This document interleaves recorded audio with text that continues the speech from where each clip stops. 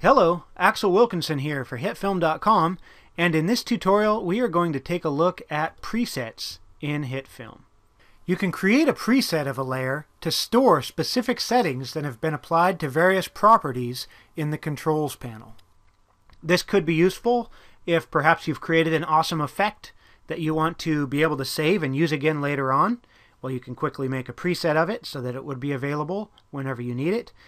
Um, perhaps you've created an effect in one project that you need to use in a different project, and so you need to transfer it from one project to another. Or perhaps you need to provide an effect you've created for someone else to use in their copy of HitFilm.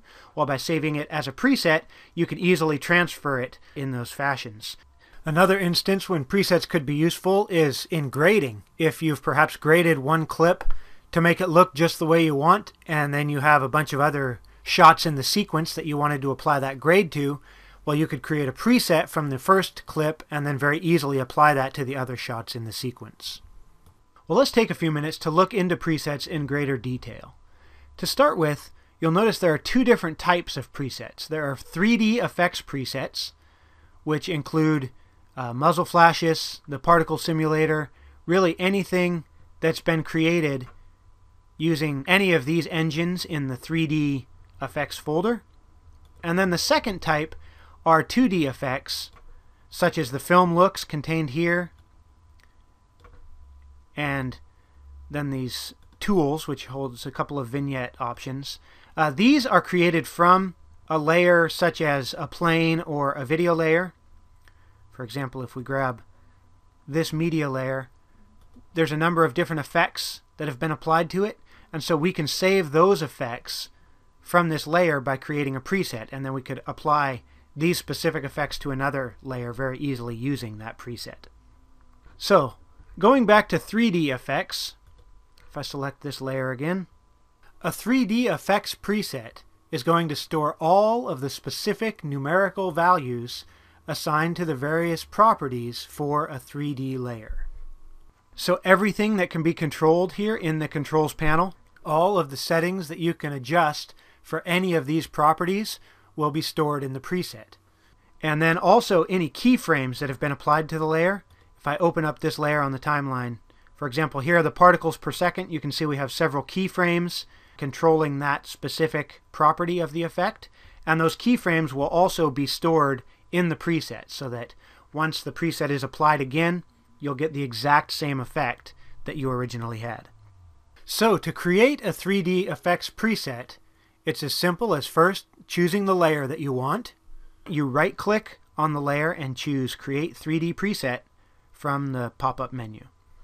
And then you'll get this window, the new 3D preset window, where you can give your preset a name. And you can choose where exactly in your presets folder the new preset will get saved. In this case, I'm going to open the 3D effects and choose the particle simulator. And then there's also an option here at the bottom, you can see, to include layer transformation properties.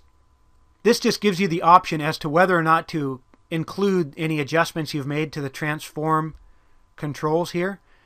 You may or may not want to include those. If you've animated some motion perhaps in the transform properties that is an important part of the effect, then you might want to tick that on and include that.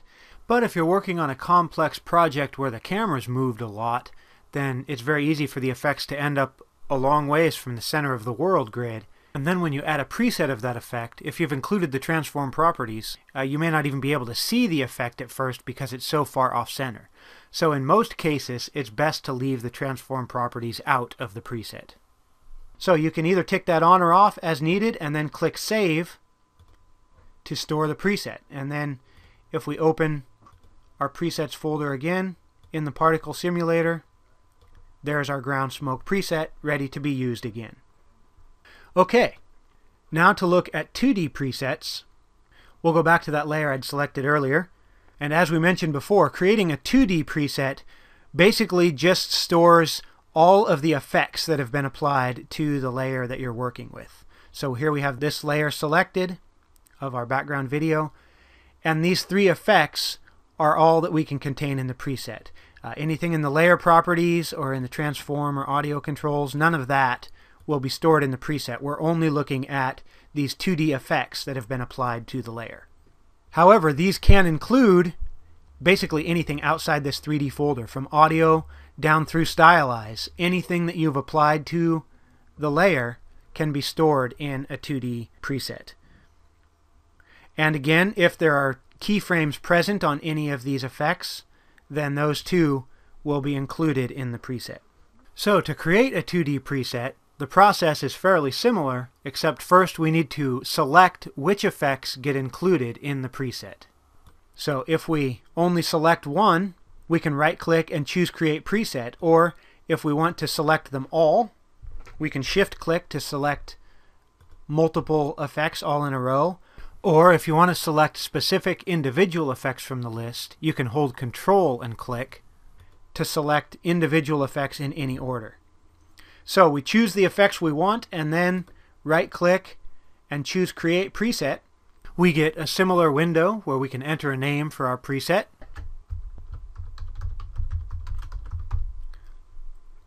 And then we can store where within the presets folders that preset gets saved.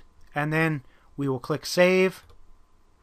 And then if we open up our Film Looks folder, there's our preset that we've just created ready to be applied again. Okay, so those are the two basic types of presets and how to create them. Now, as far as applying presets, it's fairly easy as well. To apply a 3D preset, we just grab it from the list there and drag it down into the timeline. And as we get onto the timeline, you can see we get this green line indicating where within the layer order we can drop the preset. I'll just drop it on top. And you'll notice we don't see anything. That's because even though it's on the top. Because it's a 3D preset, it's still behind the position of this smoke in 3D space. So if I move that effect up, you can see that it is in fact there. It's just buried in amongst all of that smoke. To work with the 2D presets, if I open up the film looks here, and I'm going to use this desert intensity preset just because it has a nice dramatic effect. And so as we drag that onto the timeline, you can see our cursor indicates we can't drop it on these layers. They can't accept a preset. But once you get onto a layer that can, you'll get the arrow with that little plus sign under it, indicating that you can drop the preset there if you wish. So I'm going to go to our background layer, and we can just drop that.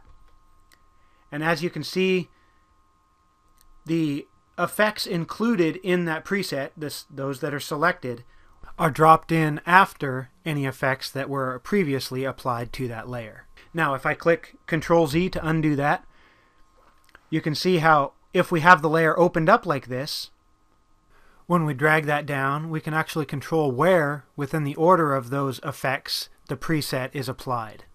And we have that same control if we drag it to the controls panel. You can control where in the order of effects the effects that are included in the preset will fall.